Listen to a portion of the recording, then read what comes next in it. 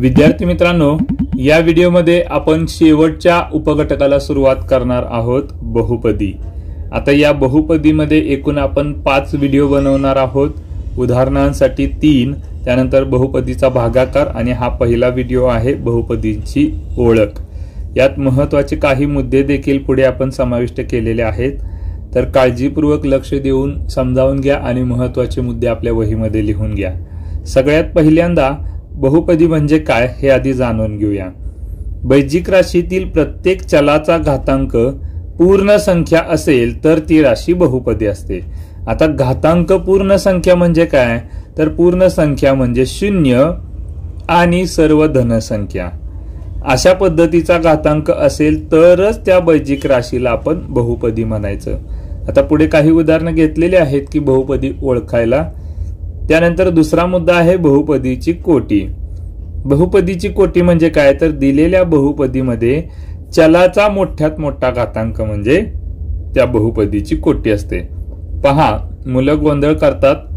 चलाचा मोठ्यात मोठा घातांक म्हणजे कोटी आहे. सहगुणकाचा नव्हे.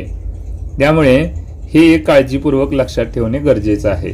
आता इथे एक उदाहरण घेतलेलं आहे खालील बहुपदीची कोटी किती? आता या ठिकाणी एक्स नावाचे चल आहे इथं एक्सचे पद आहे इथं एक्स आहे इथं एक्स आहे. इथे एक्सचा घातांक दोन आहे इथं एक्सचा घातांक तीन आहे इथे एक्सचा घातांक एक आहे. आता या तीनपैकी कोणता घातांक सगळ्यात मोठा आहे? तर तीन. त्यामुळे या बहुपदीची कोटी आहे तीन.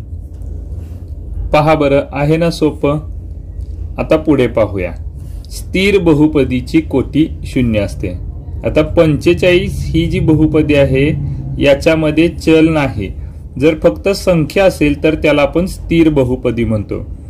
का स्थिर बहुपदी म्हणतो? कारण त्याच्यामध्ये चल नसते. आता पंचेचाळीसमध्ये कोणतेही चल नाही याचा अर्थ ही स्थिर बहुपदी आहे. आणि याला जोडून आपण कोणतेही चल जर घ्यायचं ठरवलं तर त्याचा घातांक शून्य असणार आहे का? कारण कोणत्याही संख्येचा घातांक शून्य असेल तर त्याची किंमत एक असते. हे आपल्याला माहीत आहे. एक्सचा शून्य घातांक म्हणजे एक. आणि पंचेचाळीस एक्के? पंचेचाळीस. म्हणजे फिरून आहे तीच किंमत असेल. याचा अर्थ पंचेचाळीसला जोडून जर एखादे चल घ्यायचे झाले तर तो शून्य घातांक घेऊन घेता येईल आपल्याला. म्हणजे बहुपदी स्थिरच राहील पंचेचाळीस. म्हणून त्याची कोटी आहे शून्य. आता जर शून्य हीच बहुपदी दिली असेल तर त्याची कोटी निश्चित करता येत नाही. कारण शून्याला जोडून आपण एक्सचा एक घातांक घेऊ शकतो.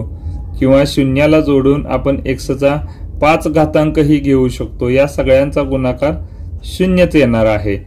म्हणजे आपण कोटी निश्चित सांगू शकतो का? निश्चितच नाही. त्यामुळे याचे उत्तर येणार आहे. निश्चित सांगता येत नाही. पुढे एकापेक्षा जर अधिक चलातील बहुपदीची कोटी ठरवायची असेल तर अशा वेळेला बहुपदीतील प्रत्येक पदामध्ये असलेल्या चलाच्या घातांकांची बेरीज करून जी बेरीज सर्वाधिक असते त्या बेरजेस त्या बहुपदीची कोटी म्हणतात. उदाहरण घेऊया म्हणजे तुम्हाला हे सविस्तर समजेल. आता इथे एक बहुपदी दिलेली आहे. आता बहुपदीमध्ये दोन दोन चल आहेत पहा. मग अशा वेळेला काय करायचं? तर या पूर्ण पदामध्ये घातांकांची बेरीज करायची. चलाच्या घातांकांची बेरीज. म्हणजे एक्सचा घातांक आहे दोन वायचा घातांक आहे एक यांची बेरीज येईल तीन. पुढे इथे एक्सचा घातांक आहे दोन वायचा घातांक ही आहे दोन यांची बेरीज येईल चार. आणि इथे एक्सचा घातांक आहे तीन. आता तीन चार आणि तीन यापैकी चार हा सगळ्यात मोठा घातांक आहे आणि म्हणून या बहुपदीची कोटी येणार आहे चार. पुढे जेव्हा बहुपदीची पदे चलाच्या घातांकाच्या चढत्या किंवा उतरत्या क्रमाने लिहिलेले असतात तेव्हा अशा स्वरूपात लिहिलेल्या बहुपदीस प्रमाणरूप बहुपदी असे म्हणतात. उदाहरणार्थ खालील बहुपदी प्रमाणरूपात लिहा. प्रमाण रूपात लिहायचं म्हणजे काय? तर चलाच्या घातांकाच्या चढत्या किंवा उतरत्या क्रमाने लिहिणे.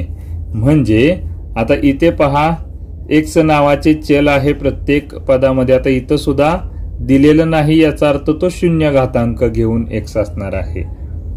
मग आपल्याला काय करायचं आहे? चलाच्या घातांकाच्या उतरत्या क्रमाने म्हणून पहिलं पद येईल आठ एक्सचा घन.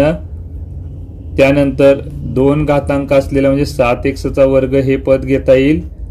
त्यानंतर एक घातांक असलेलं म्हणजे नऊ एक्स हे पद घेता येईल. आणि शेवटी शून्य घातांक असलेलं म्हणजे पंधरा ही स्थिर राशी किंवा स्थिर पद घेता येईल आपल्याला. तर हे झाले प्रमाणरूप. किंवा आपण याच याच राशीचे उलट्या क्रमाने म्हणजे चढत्या क्रमाने जरी घातांकाच्या मांडणी केली तरी सुद्धा ते प्रमाण रूपातच लेखन होईल. आणि शेवटचा मुद्दा की बहुपदीची बेरीज वजाबाकी आणि गुणाकार हे बैजिक राशींच्या क्रियेप्रमाणेच करतात. म्हणजे बेरीज किंवा वजाबाकी करायची असेल तर त्यासाठी आपल्याला स्वरूप पदं एकत्र करावी लागतील. भिन्नरूप पदं असतील तर त्यांची बेरीज करता येत नाही. आणि गुणाकारामध्ये मात्र सहगुणकांचा गुणाकार आणि चलाचलांचा गुणाकार. आता ही सोडून राहिली भागाकार ही क्रिया तर त्यासाठी आपण शेवटचा एक वेगळा स्पेशल व्हिडिओ बनवणार आहोत. त्यामुळे आता आपल्याला पुढील व्हिडिओमध्ये बहुपदीवर आधारित उदाहरणे भाग एक भाग दोन आणि भाग तीन असे तीन व्हिडिओज आपल्याला पाहायचे आहेत. धन्यवाद.